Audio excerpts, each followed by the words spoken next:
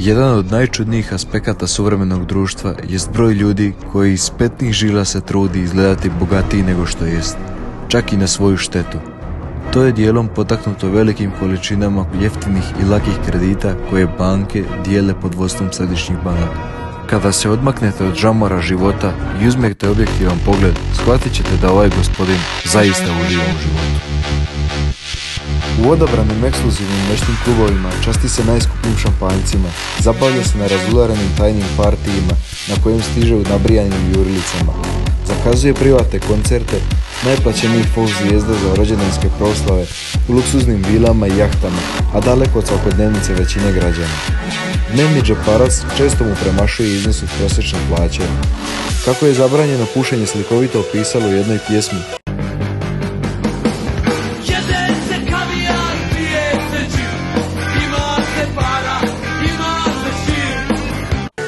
On je povlašten i privilegiran na račun moći, novca i utjecaja. Nasljednik je tajkuna i biznismena. Bio je dio zlatne mladeži u Hrvatskoj, što uglavnom znači uživati mnogo privilegija i gotovo nimalo obaveza. Osim ako među obaveze ne ubrajate partijanje i trošenje novca. On izlazi kad mu se prohtije.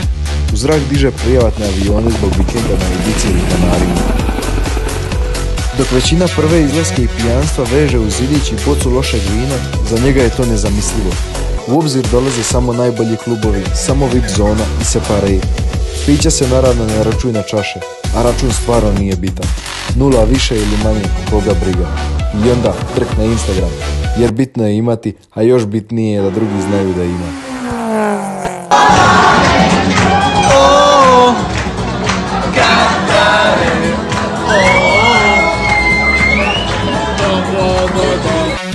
Broj pratitelja na Instagramu profilu Marinka Zovka dosigao je skoro 60 tisuća i neće tako brzo stati.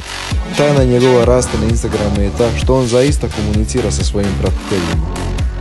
Iako mu mnogi prebacivaju brzu vožnju zbog koje je nekoliko puta bio na naslovnicama, Marinko nikad nije bio bahat prema policiji, platio bi kaznu i to je to. Čovjek jednostavno voli brzo voziti. Jedna stvar se ovom tipu mora priznati. Stvarno živi život.